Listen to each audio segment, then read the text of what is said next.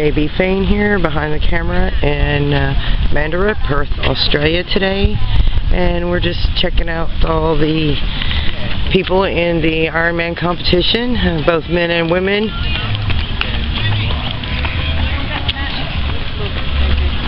As far as I'm concerned, they're all freaking winners because I couldn't do what they're doing.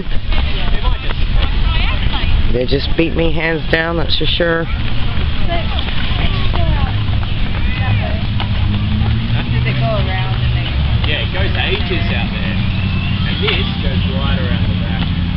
Alright, that's uh, one group.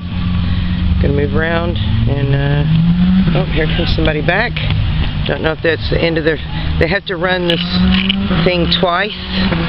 And they start down here and they go back over that bridge and uh, all the way around Hall's Head. And then uh, twice they have to do that. And it's quite a great distance.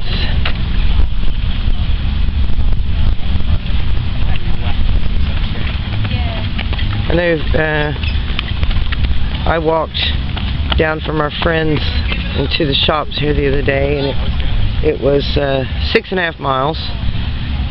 Uh, I had to convert that from kilometers, which they use here, but it was six and a half mile walk. So I know they're doing more than that, at least twice, going around.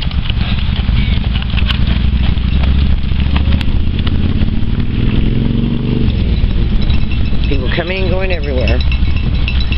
And uh, now I'm going to go get some video of the other things going around on around here today.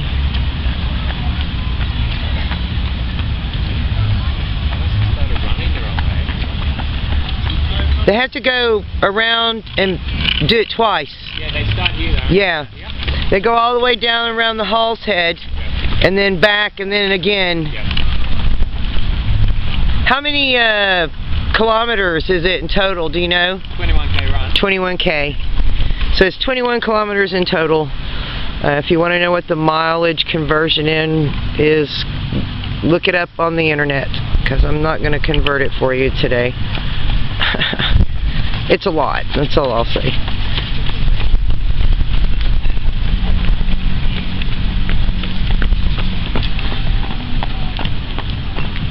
You have a whole range of people doing it, young to older people, and they're all just super fit and impressive. Uh, just to get out here and give it a go, you know. I mean, how many of you would do it? I know I wouldn't. I walk, I don't run.